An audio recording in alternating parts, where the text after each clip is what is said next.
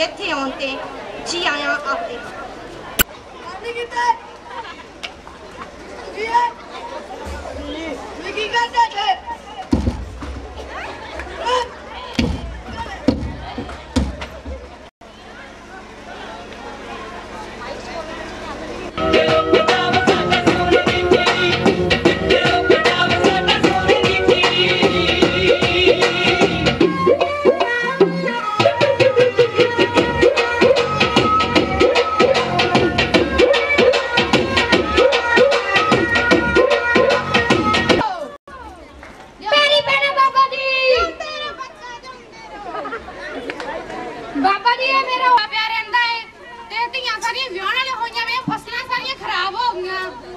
ਬਾਬਾ ਕੱਢੀ ਦੀ ਨੀ ਤੂੰ ਫੁਲਕਾਰੀ ਕੱਢੀ ਦੀ ਨੀ ਤੂੰ ਫੁਲਕਾਰੀ ਕੱਢੀ ਦੀ ਨੀ ਤੂੰ ਫੁਲਕਾਰੀ ਕੱਢੀ ਦੀ।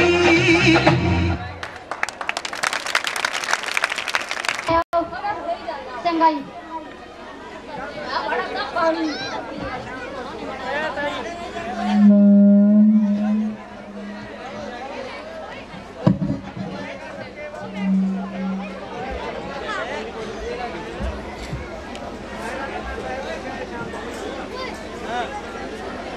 ਓਏ ਜੀਤੇ ਘਰੇ ਹੀ ਆ।